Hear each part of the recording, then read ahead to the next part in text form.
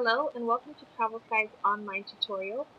Today I will be showing you how to read out details on a specific flight and also how to pull up the passenger's name list. So first, let's begin with reading out the details on a flight.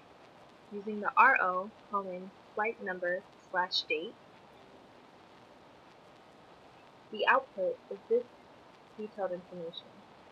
This is the header, this is considered the leg, and this is the segment.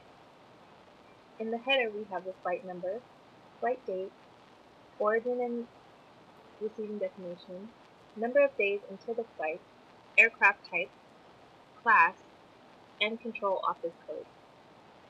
In the leg, we have the class, the leg code, the leg status, available seats, which is 235, maximum seats, 235, airline capacity 2035, book seats, group table number, group seats open, group seats booked, block seats, limit sales table number, available seats until LS, PCF table number, AVS table number, configuration table number, and status message table, also the indicator here.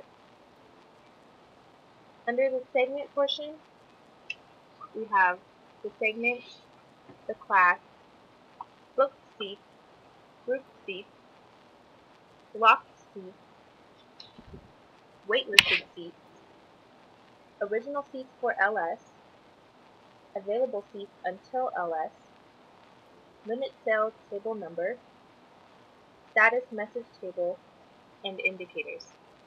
As you can see, we have no bookings for this flight.